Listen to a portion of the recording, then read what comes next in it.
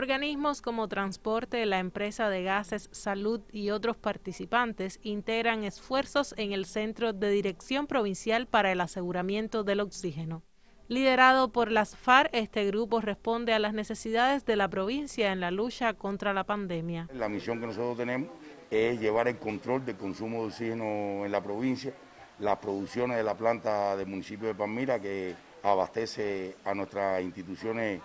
de salud y además llevar el consumo que llevan todas estas instituciones. Nosotros eh, gasificamos en la productora de nosotros aquí de la provincia, gasificamos el oxígeno, el, líquido que viene en paila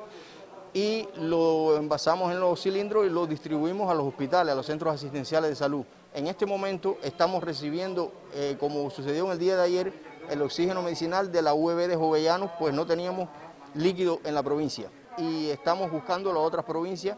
eh, según el plan que tenemos de 200 cilindros para distribuir en los centros de salud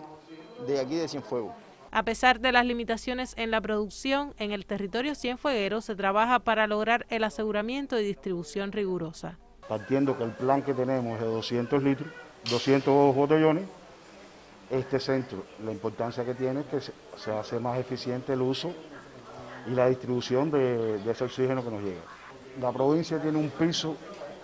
de 598 botellones de oxígeno, que eso lo maneja Gas Industrial que lo tiene asignado a las instituciones de salud. Hoy no hay problema con la demanda de botellones una vez que por el déficit de oxígeno que hay no, se cubre llenar todos los botellones. Horas de trabajo continuo para garantizar el gas medicinal implica a estos hombres y mujeres.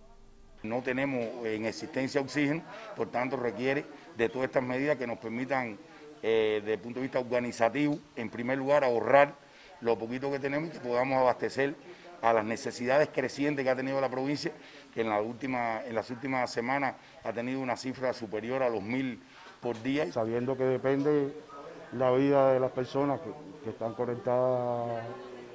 a, ese oxígeno medicinal, sí es bien tenso. Hay un momento aquí que hemos,